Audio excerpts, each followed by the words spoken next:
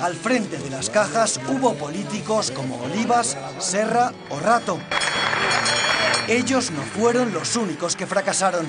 He respondido a todas las preguntas que me han hecho todas las partes. También colaboraron en el hundimiento de las cajas los gestores, profesionales colocados a dedo que mandaban cuando el sistema quebró. Estaban ahí cuando cayó la caja de ahorros del Mediterráneo, cuando naufragó Nova Caixa Galicia, cuando se hundió Caja Sur o cuando reventó Caja Madrid. ¿Está usted a gusto en esta situación de tener que venir al Congreso a dar explicaciones sobre su gestión? Bueno, a mí me han citado y yo vengo. ¿Cómo vaciaron las cajas que dirigían? ¿Cuánto dinero ganaron mientras tanto? ¿Qué causas los persiguen?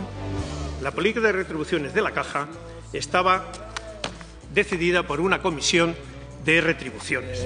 Trece años llevó este íntimo de Aznar las riendas de Caja Madrid.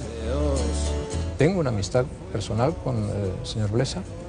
Siempre le he tenido y le tengo por persona capaz y competente.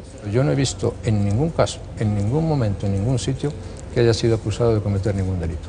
Hoy Blesa está imputado por las tarjetas Black, por subirse el sueldo presuntamente de manera irregular y por las preferentes. ser nosotros.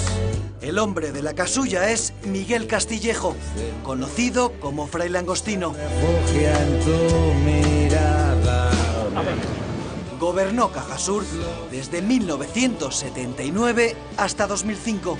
Roguemos por don Miguel, nuestro querido presidente, para que en la profunda inspiración del humanismo cristiano, en que él y Cajasur, a través de su obra social y cultural, sustentan su labor, encuentre colaboradores fieles y comprometidos.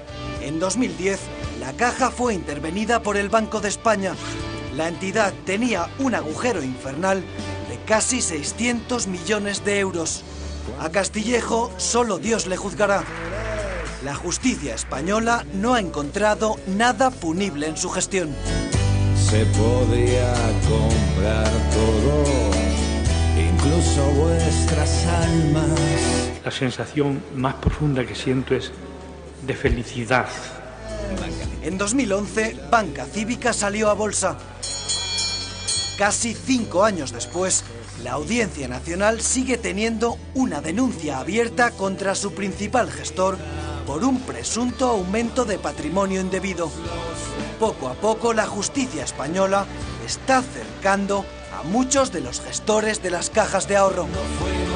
A la gente le parecerá muy tarde y con razón, ¿no? Lo, lo lenta que va la justicia. El problema es que aquí hubo un decalaje importante entre que hubo las intervenciones y hubo la conciencia del delito, de que los administradores y de que la sociedad entendiera que podría haber un delito en lo que había sucedido con las cajas de ahorros.